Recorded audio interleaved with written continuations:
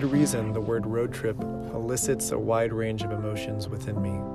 At first, I feel this slightly anxious wave of excitement accompanied by tingles exploding up through my belly as I imagine all the amazing potential of what the road trip will look like, feel like, smell, and taste like. Then comes the uneasy, slightly queasy feeling in my gut as I begin to worry about the cost and all the nagging what ifs. What if we get a flat tire? What if it rains when we get there? Is it really going to be that fun? But then I remember how much fun I always have with the awesome friends going with me, and a sense of excitement and wonder hits me, and I ask myself, what new quote or inside joke will come from the trip? Hey Lucas, are we there yet? what ingenious alternative will we come up with if plans fall through when we get there? And what adventure is going to pop up out of thin air, as it almost always does? My last road trip made me think about some fun guidelines to follow to get the best experience possible on your next adventure on the open road. My hope is that these suggestions will help your trip to be just as amazing and incredible as mine was. Before we get started, the video clips are from my last road trip to a place in New Mexico called Cosmic Campground. The sky is so dark there, thanks to nearly no light pollution, that it offers a stunning visual experience you'd be hard pressed to find anywhere else. And it doesn't end there. We went for the stars, but we saw and experienced so much more than that. You'll see what I'm talking about. Rule number one go with the right people. Make sure to go with people you absolutely love and can tolerate, and everybody who is going really wants to go. I can tell you from my experience if you can't tolerate somebody for an extended period of time or they only kind of want to go, they can ruin the momentum and energy of the trip. There's nothing worse than having to walk on eggshells around somebody when you're supposed to be enjoying yourself and relaxing. On the other person who only wants to kind of be there, they don't bring much energy to the table. If everyone contributes to the positive energy of the trip, you end up creating and finding the best spots and memories, things you never would have thought of otherwise. When you have the right people for the trip, you never have to worry. Anything can be fun, even making weird whale noises in the car or singing along to karaoke. In my last trip, I couldn't think of any better people to road trip with. Some of the most open minded and adventuresome people I know. Rule number two be open to anything.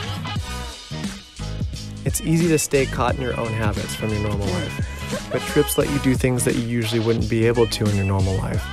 Like videoing your friends sleeping, or looking at a structure and instead of passing the thought of climbing up it, actually climbing up it. Or maybe something you've always thought but never done, like running in a farmed field, watching the ends of the field disappear into the horizon. Doing these things not only feel amazing when you actually get to do it, but it also creates those amazing memories and translates to your life when you get back. Because now, now you have a story you can tell at your next party. Or next time, you can bring another friend to do that same thing later and share your experience with them. Rule number three explore. I know this might sound obvious, but it's true. Explore things around you. If you're driving and you see an interesting sign somewhere, follow it and see where you end up. We did this on our trip, and as a result, it made the trip. We tried to find a lake or a stream and went through mountain roads and plenty of bridges to find any running water. Everything was either dry or too small to wash off and swim in. Then, we were driving to a trailhead to hike and we saw a sign for a lake. We figured it was dry like the other one we went to, but we thought we would check anyways. We ended up finding a natural cold spring on a mountain with crystal clear water in the middle of the desert. We happily spent the entire day there and got to be super goofy and make some pretty great memories. Here. Come on, little guy. Come on, you know you want it. Come on. You got it. You got it. Come on. Come on. Don't be scared. I know. Don't be scared. Come on. You got it. Don't be scared. I got you. You're okay. What? It's okay. Oh, oh.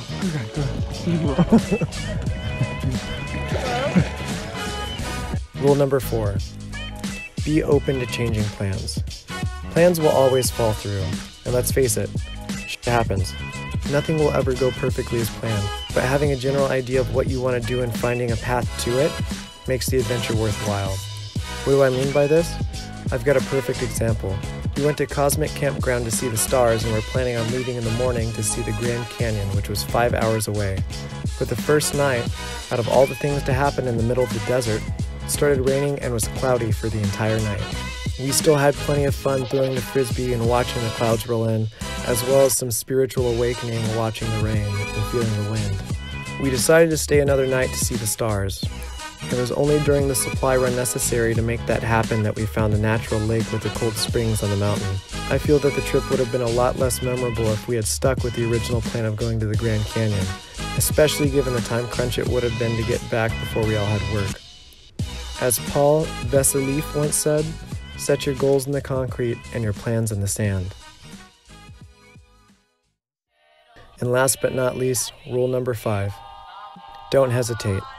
Can't tell you how many times obstacles have come up during the planning of a trip, whether it's finances or a friend's wedding or work wants me to come in even though I signed those days off four weeks in advance. I could go on and on. My point is, you can pick a million of excuses not to go. My advice don't get caught up in the excuse trap. I've never been upset or regretted going on any of the trips where an obstacle came up and I decided to go anyway. If anything, it's the opposite.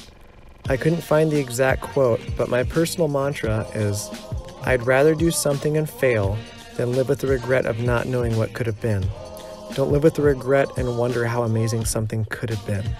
There's a poem by William F. O'Brien that embodies this mantra a lot more eloquently than I ever could do. So, to end this video, I'd like to share it with you today. It's called Better to Try and Fail Than to Have Never to Try at All. Some say risk nothing, try only for the sure thing. Others say nothing gambled, nothing gained. Go all out for your dream. Life can be lived either way, but for me, I'd rather try and fail than never try at all, you see. Some say don't ever fall in love. Play the game of life wide open. Burn your candles at both ends. But I say no, it's better to have loved and have lost than never to have loved at all, my friend. When many moons have gone by, and you are alone with your dreams of yesteryear. All of your memories will bring you cheer. You'll be satisfied, succeed or fail, win or lose, knowing that the right path you did choose. And with that, thank you. If you like this video, please give it a thumbs up, like the video, and subscribe if you'd like to see more videos like this. I've also got some that you can watch. Thank you so much.